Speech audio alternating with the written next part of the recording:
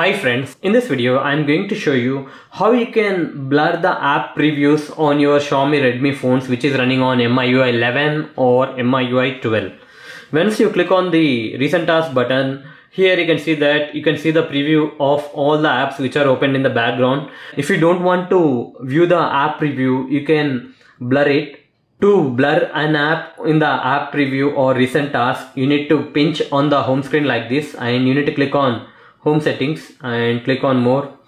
Under home screen settings at the bottom you can see the blur app previews. You need to click on that and select the app which you would like to blur. I would like to blur the PUBG mobile for demonstration purpose. Here is a PUBG mobile. Enable it. Now let's open the recent task or app previews. Click on recent task button. Here you can see that previously PUBG mobile app preview was showing. Now you can see that it is blurred whereas other apps are showing up there is no blur on those app previews. So that's it guys. In this way you can blur app previews on any Xiaomi Redmi phones which is running on MIUI 11 or MIUI 12 hope you like this video. Please subscribe to our channel. Thank you